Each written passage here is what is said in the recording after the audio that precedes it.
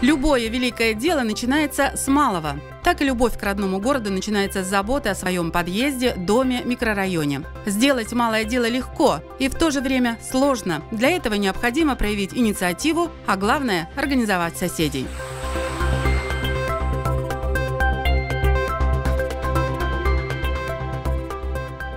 В 2013 году в Череповце началось активное развитие территориальных общественных самоуправлений, а в простонародье – ТОСов, объединяющих активных и неравнодушных жителей, которые стремятся сообща решать проблемы своего дома, улицы, микрорайона. Территориальное общественное самоуправление ТОС – это самоорганизация граждан по месту их жительства на части территории города для самостоятельного и под свою ответственность осуществления собственных инициатив по вопросам местного значения. Некоторых вопросах не стоит ждать помощи, можно и нужно брать дело в свои руки. Естественно, при кооперации с органами местного самоуправления.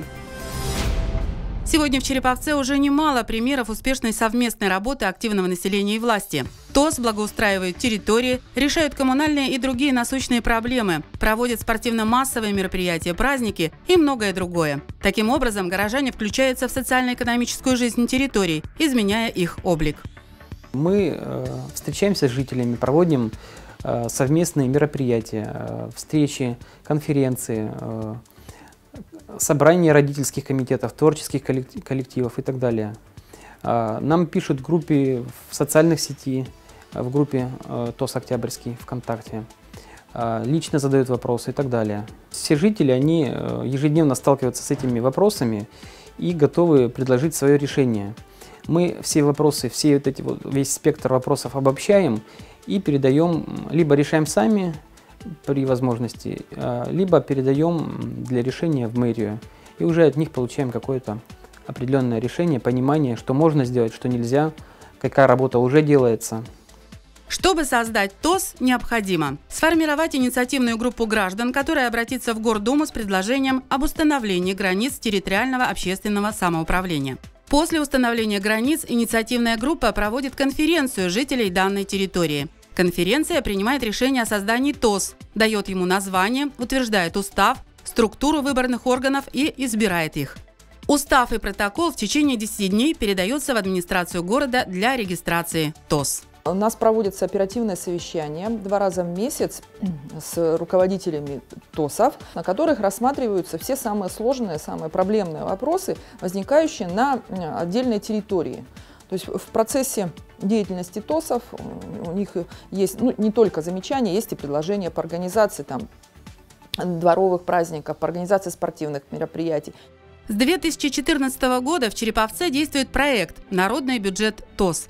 Жители микрорайонов, объединившиеся в общественное самоуправление, участвуют в распределении средств городского бюджета на проекты, которые они считают первоочередными для своей территории. Никто не прибежит вам не потратить там 2-3 миллиона на вашу территорию. Так просто. ТОС является глазами. То есть он власти может показать, что нужно, вот что болит в этом микрорайоне. То есть, допустим, возникают какие-то проблемы, их не всегда же можно увидеть из мэрии, да? Люди, живущие на этой территории, они видят где-то произошло. И, соответственно, общаясь с советом, мы эту информацию выносим дальше на высший уровень. Там уже, соответственно, принимаем решение, да, можно, да, можно, но не сейчас, а в следующем году. Нет, нельзя, потому что вот так вот.